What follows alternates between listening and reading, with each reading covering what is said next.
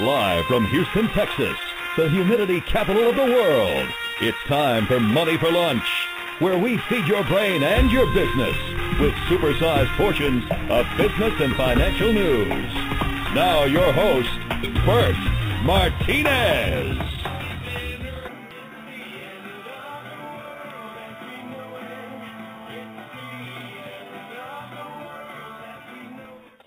Hey guys, it's not the end of the world. We survived. Here it is. It's Friday, 12-21-12, and we survived.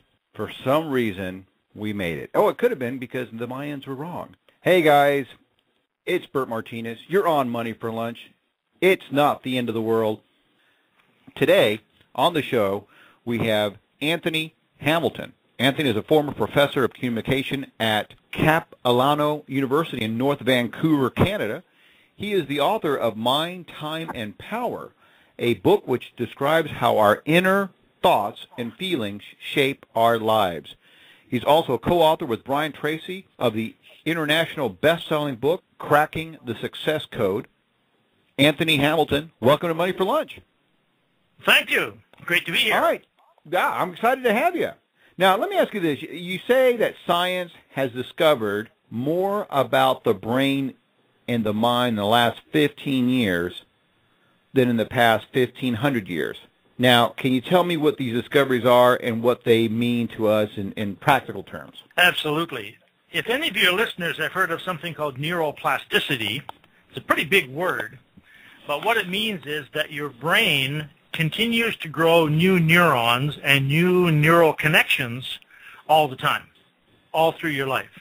Now, when you and I were in university, I was in university and studied psychology in the uh, in the 70s and in the 80s, and the prevailing opinion was that your brain is fixed. After about the age of 20, we start to lose neurons, and we just lose more and more neurons, and our brain gets less and less effective as we get older. Now they've found that that's absolutely untrue. So using something called a functional MRI, psychologists working at places like Harvard University have discovered in about 1995, so we're talking 15 years ago roughly, that the brain actually continues to grow new neurons and new neural connections all the time, which is an amazing piece of information. But they've also discovered something else, that it's possible for us to consciously influence the way these neurons grow by doing certain kinds of exercises. And it's also possible for us to influence and consciously determine the way our brain develops using thought. So simply by thinking in a certain way, we can actually choose and determine the way our brain evolves. Now that's a pretty amazing piece of information right there. Don't you agree? I I find that really fascinating. I, I like that. Let me ask you this, all right? Because in your book, Mind, Time, and Power, you also write about this mind-time continuum. I mean, mind-time, mind-time connection. Explain to me what what you mean by this. Well, yeah, this is another huge piece of information. You know, when we understand something, we have to have a model to understand what it is.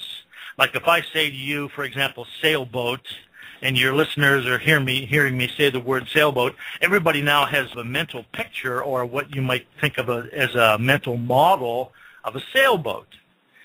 If they understand English, they have to have a concept or a model of a sailboat in their mind to understand what I'm talking about.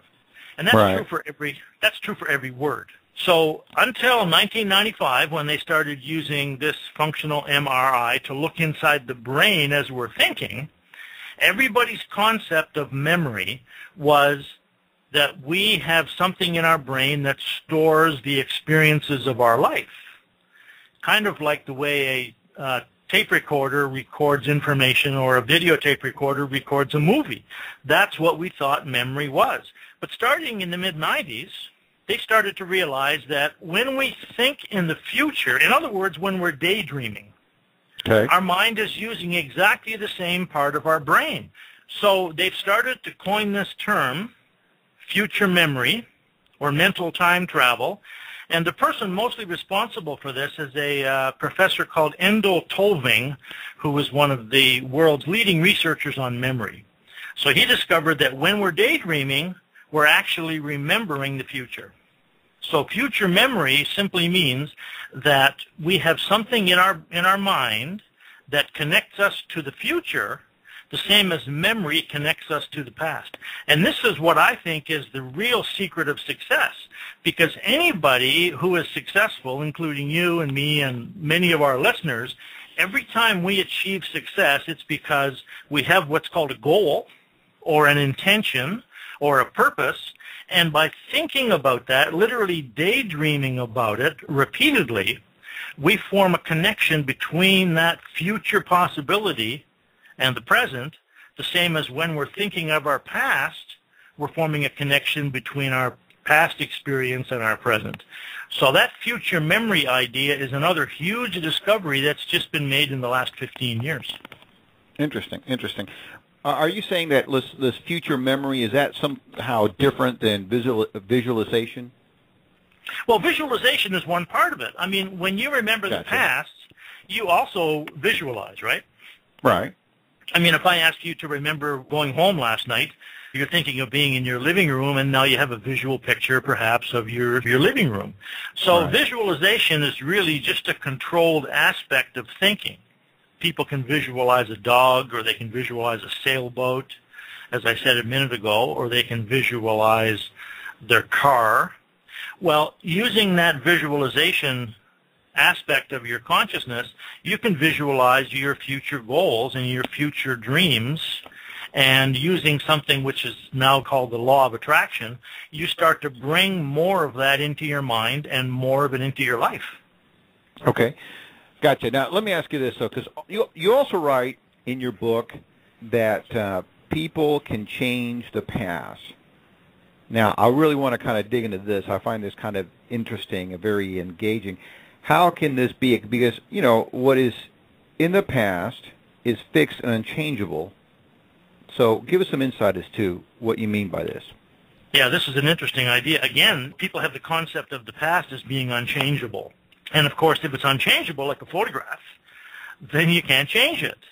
But it's not a photograph. The past is changing all the time because our understanding of, of our life right. is really only partially made up of the physical events that happen to us. Most of the meaning, most of the feelings, most of the emotions, most of the impact of what happens to us is mental. One person can lose a job and they can get depressed and feel like their life is almost over because they've lost this job which was so important to them. Another person can lose a job and say, great, now it's time for me to find something new.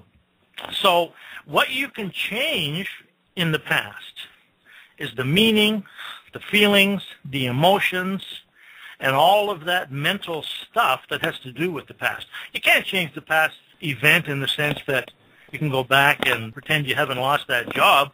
I mean, you walk into that office the next day, and your boss is going to wonder what you're doing there. You know, because, you know, because you got laid off last week, right? But uh, it reminds me of a Seinfeld episode, right? yeah, exactly. But certainly in terms of the feelings, the emotions, and the meaning of it, which is the most important thing, is it a negative thing or is it a positive thing? We can certainly change that. And when you systematically go through your life and you take all the negative events that have impacted you and you ask yourself a simple question like, how could I look at this in a way that empowers me? then suddenly the meaning shifts from being negative to being positive. So that's what I mean about changing the past. And just just the concept just the understanding that it's possible to change your past has a has a huge impact on on your life. Uh, yeah, I agree with that. I, I think that being able to go back and change how you feel about an experience absolutely, you know, changes your past and therefore changes your future. Absolutely. Changes your present as well because now you're in a different place mentally, right? You're in a different place right. emotionally. If you if you look at, at losing this job, for example, as something positive, then suddenly your feelings change in the present. So your present is transformed right away. And the way you look at the future and the way you feel about the future changes too. And of course, this is nothing new. Mark Twain said that when he was 15 years old, his father was the stupidest man on earth. And when he got to be 35 years old, he was amazed at how smart his father had become. so, you know, we're not the only ones that notice that the past changes. I mean, it's something that has been known for a long time. But with the functional Let MRI... ask you this. Let me, I, I want to kind of dive into this a little bit because we're almost out of time. Tell us a little bit more about what inspired you about Albert Einstein.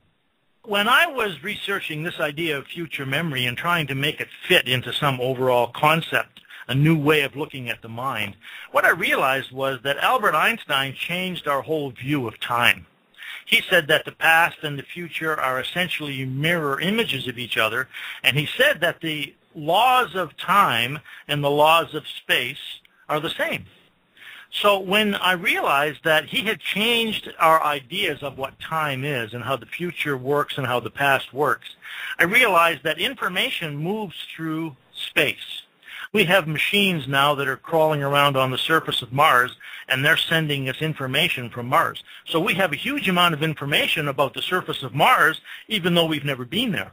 And I realized that there's a part of your mind that does the same thing. When you're remembering the past, there's a part of your mind, which in my book I call the inner awareness, that goes into the past and sends information from that past. Likewise, gotcha. when you're thinking about the future, whether it's the law of attraction or goal setting, and you're visualizing, as you put it, you're visualizing the future that you want, this aspect of your awareness goes into the future, sends information about this possible reality that you would like to experience. And if you do that in a controlled daydreaming fashion, as I mentioned before, literally dreaming about it and thinking about it and pretending that you're there, your mind starts to give you ideas about how you can actually find a path from where you are to where you want to be. Hey, I got I got to cut you off there and we're going to end it on that note. Anthony Hamilton, thank you so much. Have yourself some happy holidays and a happy new year. We'll talk to you later. Thank you, Bert. And if anybody is interested in finding out more about my book, Mind, Time, and Power, they can check out my website, anthonyhamilton.org. Thanks, Bert. Thank you so much. All righty. Hey, guys, we're out. This is it. Lunch is over. We thank you so much for stopping by. We're really grateful for every day that you guys come by here and check us out. We appreciate your Twitters. We appreciate you checking us out on uh, moneyforlunch.com. Have yourself a Merry Christmas. Have yourself some nice, relaxing holidays. Enjoy your time by yourself. Enjoy your time with your family. Remember, you were created to succeed, and we'll see you here next week. Tune in Monday through Friday here on Money for Lunch and check out our website at moneyforlunch.com.